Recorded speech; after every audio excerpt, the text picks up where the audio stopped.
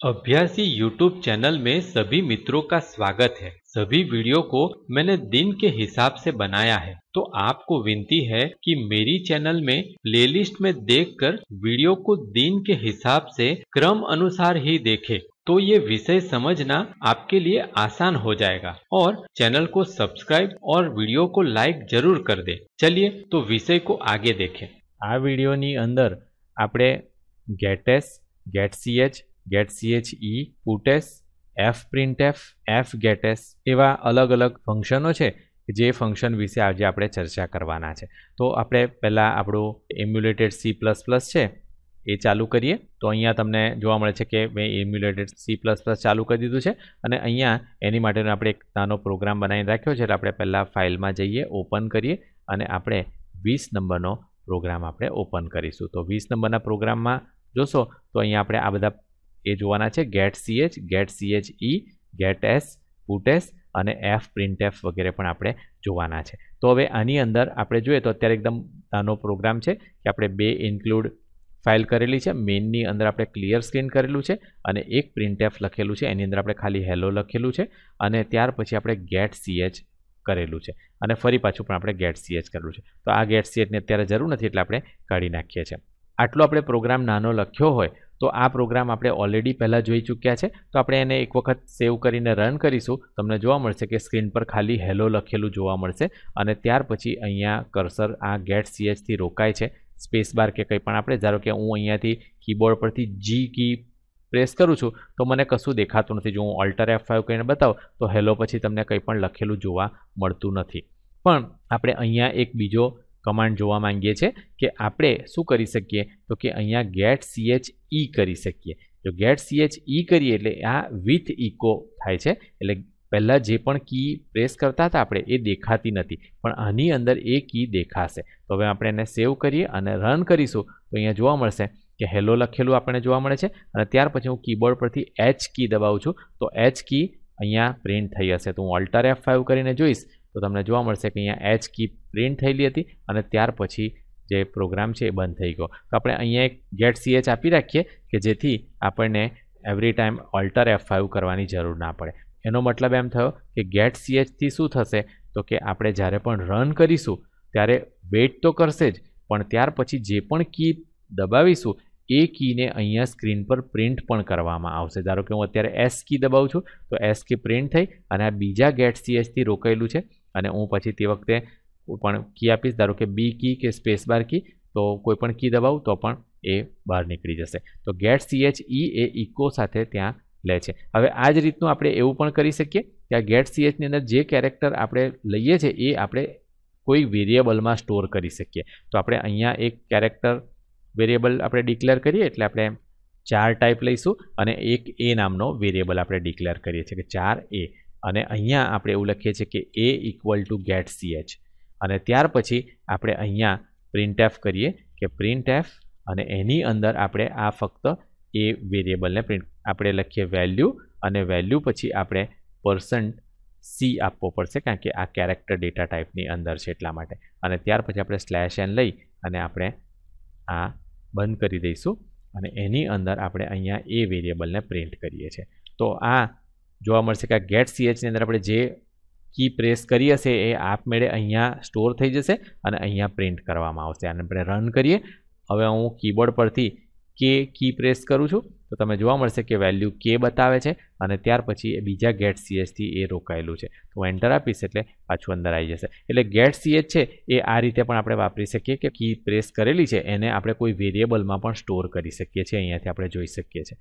આપણે બીજો એક સ્કેનએફનો પ્રોબ્લેમ જોઈએ કે ધારો કે આપણે આ હેલોવાળો જે લાઈન છે એને પણ આપણે ડિલીટ કરી દઈએ અને અહીંયા આપણે અગાઉ જેમ જોઈ ગયા પ્રમાણે કે આપણે નેમ નામનો વેરિયેબલ લઈ શકીએ છીએ. આપણને પંદર કેરેક્ટરનું નેમ જોઈએ છે. આપણે અહીંયાથી એને સ્ટોર કરી શકીએ. હવે અહીંયા આપણે આ લાઈન કાઢી નાખીએ અને અહીંયા આપણે નેમ કરીએ કે નેમ અને ત્યાર પછી આ બધું આપણે કાઢી નાખીશું અને અહીંયા આપણે scanf કમાન્ડ લઈશું. scanf અને અહીંયા પર્સન્ટ એસ આપણે આ પ્રોગ્રામ ઓલરેડી હવે જોઈ ચૂક્યા છે એટલે હું ફટાફટ લખું છું. અને તમે આગળના વીડિયો તમે જોયેલા હશે એવું હું માનું છું. એટલે કે તમને ખબર પડતી હશે કે આ આપણે શું કરી રહ્યા છે. તો હવે આપણે શું કર્યું હતું કે એક જગ્યા તૈયાર કરી નેમ નામના વેરિયેબલની અને એને આપણે સ્કેનએફથી આ નેમ નામના વેરિયેબલની અંદર લઈએ છીએ. આપણે એને પ્રિન્ટ કરવાનું પડશે કે પ્રિન્ટ એફ કરીએ આપણે. યોર નેમ ઇઝ અને ત્યાર પછી આપણે અહીંયા પર્સન્ટ એસ લખીશું સ્લેશ એન લખીશું અને અહીંયા નેમ નામનો વેરિયેબલ હતો એને આપણે પ્રિન્ટ કરી દઈશું. તો આટલું આપણે કર્યું સેવ કરીએ રન કરીએ, તો આપણે જોઈ શકીએ છીએ કે અહીંયા આપણે એ કર્યું તો યોર નેમ ઇઝ અજય આપણને અહીંયા બતાવી દેવામાં આવે છે. આ પ્રોગ્રામ બતાવવાનો તમને મારો હેતુ એ છે કે હું તમને સ્કેનએફની અંદર જે પ્રોબ્લેમ છે એ તમને બતાવી શકું. તો હવે સ્કેનએફની અંદર અત્યારે આ બરોબર ચાલતો તમને લાગે છે. પણ જો હું આ સ્કેનએફની અંદર આખું નામ મારું પ્રિન્ટ કરું, કારણ કે આપણી પાસે પંદર કેરેક્ટર છે. હવે પંદર કેરેક્ટરની અંદર હું રન કરી અને હું આ રીતનું આપું છું કે અજય પરમાર અને પછી હું એન્ટર આપું છું. તો મને જોવા મળે છે કે એકલું નામ મારું અજય જ સ્ટોર થયું છે અને પાછળ જે પરમાર હતું એ નીકળી ગયું છે. એટલે કે જે સ્પેસ પછીની વસ્તુ હતી એ સંગ્રહ કરવામાં નથી આવી. તો સ્કેનએફની અંદર આપણે આ યાદ રાખવાનું છે કે સ્કેનએફની અંદર આપણે ફક્ત એક જ શબ્દ આપણે આપી શકીએ છીએ. શબ્દની વચ્ચે આપણે સ્પેસ નથી આપી શકતા. તો જો આ પ્રોબ્લેમ હોય તો પછી આપણે કઈ રીતે એને સોલ્વ કરી શકીએ? તો એને સોલ્વ કરવા માટે એક વસ્તુ આપણે કરી શકીએ કે આ જે સ્કેનએફ છે, એને બદલે ગેટ એસ આપણે વાપરીએ છીએ. જો કે ગેટ એસ જે છે, એ સી નાઇન્ટી નાઇન વગેરેમાંથી કાઢી નાખવામાં આવેલું છે અને એને બદલે એફ ગેટ એસ કરી દેવામાં આવ્યું છે. તો હું એ પણ તમને બતાવું છું. પણ એ પહેલાં આપણે જોઈએ કે અહીંયા ગેટ એસ કારણ કે ગેટ એસ અત્યારે આપણા ત્યાં ઇન્ડિયાની અંદર, સ્કૂલ કોલેજોની અંદર બધી જગ્યાએ ગેટ એસ વધારે ચાલે છે અને એટલે આપણે આ રીતે લખી શકીએ ગેટ એસ ગેટ એસનો મતલબ થાય છે ગેટ સ્ટ્રિંગ અને ત્યાર પછી આપણે આને સેવ કરી અને રન કરીશું. તમને જોવા મળશે કે હું અજય પરમાર આખું લખું સ્પેસ સાથે, તો એ આખું નામ અહીંયા પ્રિન્ટ થયેલું મને જોવા મળે છે.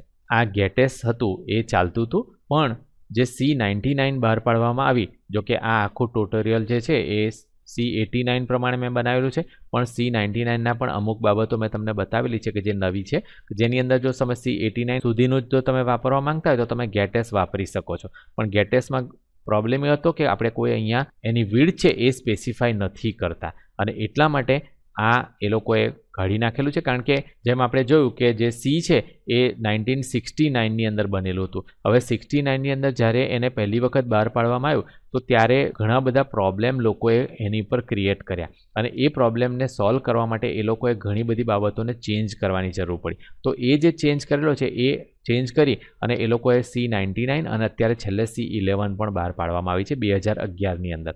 તો હવે આપણે અહીંયા જોઈએ કે એની અંદર સ્ટાન્ડર્ડ જે સી નાઇન્ટી નાઇન છે, એની અંદર એમ કહેવામાં આવે છે કે તમારે ગેટેસ નહીં વાપરવું, પણ તમે એફ ગેટેસ વાપરો. હવે એફ ગેટેસનો મતલબ થાય છે ફોર્મેટેડ ગેટેસ. નેમ નામના વેરિયેબલની અંદર આપણે સ્ટોર કરવાનું છે, પણ કેટલું સ્ટોર કરવાનું છે? તો કે આપણે મેક્ઝિમમ પંદર કેરેક્ટર સ્ટોર કરવાના છે, એ આપણે આપીશું અને ત્યાર પછી એ આપણે છે, એ આપણે સ્ટાન્ડર્ડ ઇનપુટમાં આપવાનું છે. એટલે આપણે કે એસટીડી ઇન પર, એટલે કે સ્ટાન્ડર્ડ ઇનપુટ આપણે લેવાનું છે. એસટીડી આઈ એન આપણે લખીશું સ્ટાન્ડર્ડ ઇનપુટ આપણે લેવાનું છે.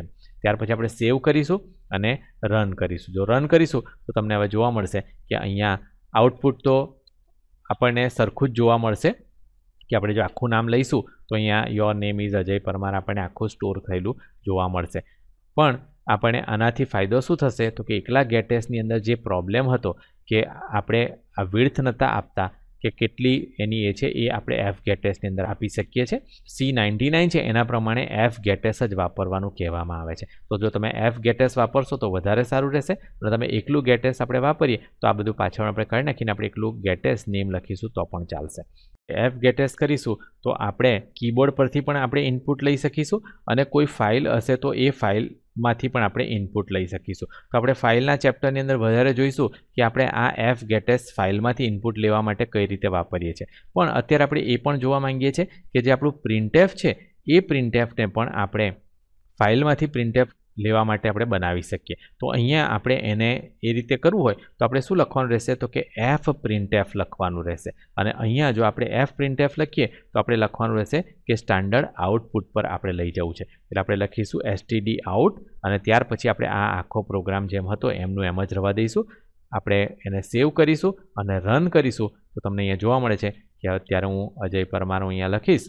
એ આખું પ્રિન્ટેફની ઉપર આવેલું મને જોવા મળે છે. આ જે છે એ સ્ટાન્ડર્ડ આઉટપુટની ઉપર ગયું એટલે કે સ્ક્રીનની ઉપર ગયું. પણ જો આપણે કોઈ ફાઇલની અંદર નાખવું હશે, તો એટલે આ સ્ટાન્ડર્ડ આઉટપુટ એટલે કે સ્ક્રીનને બદલે અહીંયા કોઈ જો ફાઇલનું નેમ લખીએ, તો એ ફાઇલની અંદર પણ આ આઉટપુટ જશે. તો આપણે આ કમાન્ડ પણ આપણે જ્યારે ફાઇલ હેન્ડલિંગ જોઈશું, ત્યારે એની અંદર વધારે જોઈશું. હવે આપણે એક બીજો કમાન્ડ જોઈ લઈએ, અને એ છે પુટ એસ કમાન્ડ આ જે આખું છે, એને આપણે અહીંયાથી કાઢી નાખીએ, અને એને બદલે આપણે પુટેસ કમાન્ડ કરી દઈએ.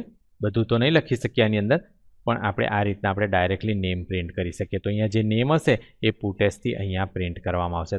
એટલે આપણે અહીંયા આવું લખ્યું કે પુટ એસ અને ત્યાર પછી આપણે નેમ લખ્યું. આપણે સેવ કરીશું અને રન કરીશું, તો અહીંયા આપણે આખું જો નામ લખીશું, તો એ નામ આપણને અહીંયા પ્રિન્ટ થતું જોવા મળશે. પણ જેમ આપણે ચર્ચા કરી ગયા કે આપણે ગેટેસ અને પુટેસ જે છે, એ વધારે નથી વાપરતા, પણ એને બદલે એફ ગેટેસ અને એફ પુટ એસ આપણે વધારે વાપરી છીએ. આ એફ છે, એ આપણે ફાઇલના ચેપ્ટરની અંદર વધારે જોઈશું કે એફ આપણે કઈ રીતે વાપરી શકીએ. પણ અત્યારે આની અંદર આપણે જોઈએ કે આપણે ક્યાં એને મૂકવું છે એ આપણે બતાવી શકીએ છીએ. તો અહીંયા આપણે લખીશું કે આપણે આ સ્ટાન્ડર્ડ આઉટપુટ પર લખવું છે, એટલે સ્ટાન્ડર્ડ આઉટ આપણે અત્યારે લખીએ છીએ. આપણે ફાઇલનું નામ નથી લખતા. તો અહીંયા એસટીડી આઉટ લખીશું અને ત્યાર પછી આપણે રન કરીશું. તો અહીંયા આપણને જોવા મળશે કે એ બરોબર રન થયેલું તમને જોવા મળશે બધા નાના નાના કમાન્ડ હતા કે જે આપણે સમજી લેવાની જરૂર છે કે જેથી આપણને જે પ્રોબ્લેમ છે કારણ કે ઘણી વખત એવું થતું હોય છે કે આપણે સ્કેનએફની અંદર કંઈક વસ્તુ લખીએ અને એ અડધું જ પ્રિન્ટ થાય તો આપણને ખબર ના પડતી હોય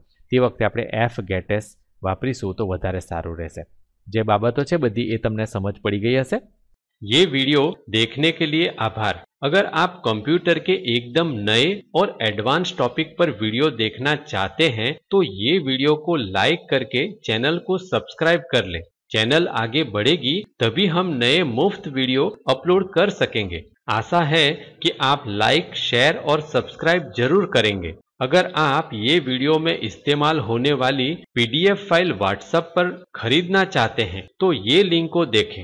वीडियो डिस्क्रिप्शन में भी ये लिंक दी है। ધન્યવાદ.